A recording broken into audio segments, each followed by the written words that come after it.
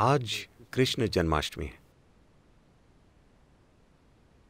जब कृष्ण की बात की जाती है तो उनके बारे में कई गलत फहमियाँ सामने आती हैं। जब हम कृष्ण कहते हैं तो ज़्यादातर लोग बस मक्खन, लड़कियों और बांसुरी के बारे में सोचते हैं। हाँ। लेकिन हमें समझना चाहिए कि मक्खन में उनकी रुचि सिर्फ़ छः या आठ साल की उम्र तक ही थी। और लड़कियों का साथ सिर्फ़ सोलह की उम्र तक था। सोलह की उम्र में जब उनके गुरु सांदीपानी ने यह समझाया कि उनके जीवन का उद्देश्य क्या है, सबसे पहले उन्होंने वृंदावन छोड़ दिया और कभी वापस नहीं गए। कभी वापस नहीं गए, ना तो अपने रिश्तेदारों से मिलने ना ही वहाँ के लड़के लड़कियों से मिलने। वहीं उसका अंत हो गया। सोलह की उम्र में वो चले गए। जब वो जा रहे थे, आज जब हम कृष्ण कहते हैं तो हम राधे कृष्ण कहते हैं। राधे कृष्ण से पहले आती। क्योंकि उनका प्रेम, उनकी करीबी, उनकी प्रेम लीला ने इस उपमहाद्वीप की पूरी संस्कृति की कल्पना में इस तरह जगह पाई है। कि हम कृष्ण राधे नहीं कहते, हम राधे कृष्ण कहते हैं। लेकिन 16 की उम्र में उन्होंने राधे को आखिरी बार देखा और फिर कभी नहीं देखा। और 16 की उम्र में जब वो जा रहे थे, वो बोले, मैं ये बांसुरी तुम्हारे लिए बजाता हूँ। अब मैं जा रहा हूँ और वापस नहीं आऊँगा। तो तुम्हें एक भेंट के रूप में, क्योंकि तुमसे इतना प्रेम है, मैं ये बांसुरी तुम्हें देता हूँ। और अब कभी बांसुरी नहीं बजाऊँगा, और उन्होंने नहीं बजाई। उसके बाद राधा ने बांसुरी बजाई, उन्होंने 16 की उम्र के बाद कभी नहीं बजाई। 16 से 21 की उम्र तक वो ब्रह्मचारी की तरह जिए, उन्होंने सन्यास ले लिया। ब्रह्मचारी की तरह जिए, ज़बरदस्त साधना की। उसके बाद उनका पूरा जीवन समर्पित था राजनीतिक प्रक्रिया और आध्यात्मिक प्रक्रिया का मिलन करवाने के लिए। इसका अंत तबाही के साथ हुआ, लेकिन उन्होंने हर संभव काम किया।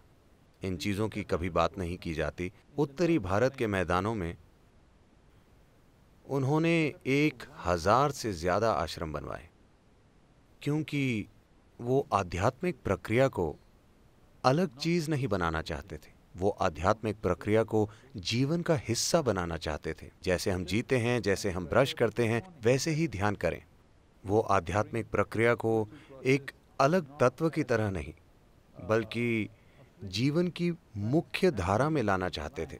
विशेष रूप से देशों के शासकों के जीवन में, उन सभी देशों के जो उस समय मिलकर भारत बनाते थे।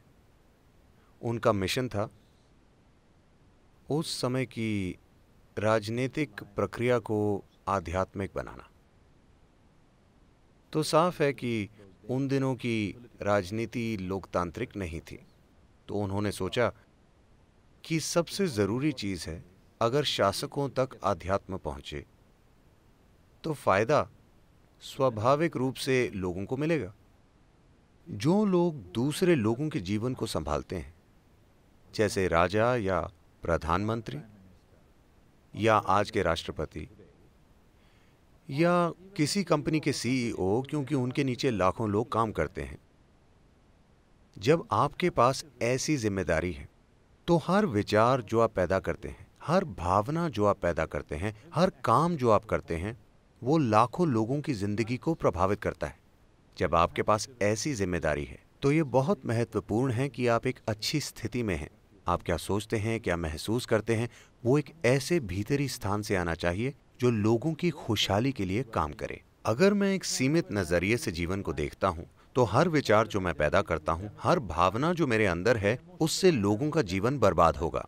वो काम जो मैं करता हूँ और विशेष रूप से वो काम जो मैं नहीं करता, जो मुझे करने चाहिए, उनसे लोगों के जीवन में ज़बरदस्त नुकसान होगा, है ना?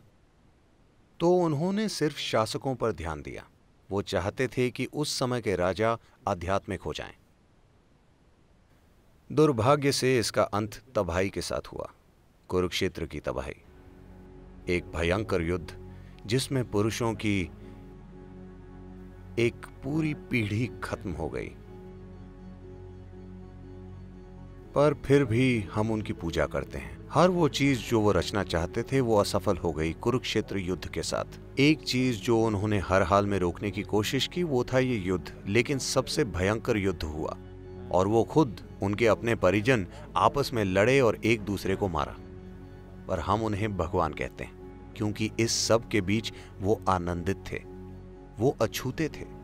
एक भयंकर सच्चाई, एक भयंकर नाटक से जो उनके आसपास हो रहा था, पर फिर भी अछूते।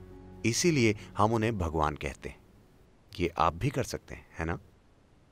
आप दुनिया में सबसे सफल बनेंगे या नहीं, ये कई सच्चाइयों पर निर्भर है। पर क्या आप एक सफल मनुष्य हैं? मतलब आप अपना जीवन जागरूक होकर चला सकते हैं, या जब जीवन आपको परेशान करेगा तो आप एक जानवर बन जाएँगे, यही सवाल है। अगर ये एक सवाल आप सफलता से संभाल लेते हैं तो हम आपको भी भगवान कहेंगे। हाँ